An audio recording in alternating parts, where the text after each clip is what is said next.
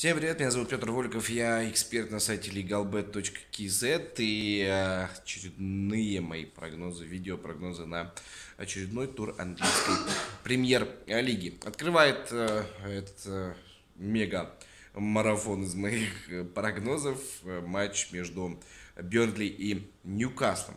Ньюкасл находится сейчас в очень хорошей форме. Команда смогла э, после ничьи с Манчестер Сити 2-2 смогла дважды обыграть Шеффилд и Саутгемптон. Причем по делу обыграла.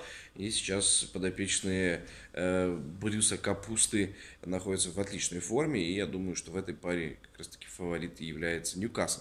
А, ну а Берли проиграли в последних трех встречах. Если Кристал Пэлас они уступили минимально, то вот э, поражение от Манчестер Сити и от Тоттенхэма, мне кажется, очень сильно повлияло на психологию команды.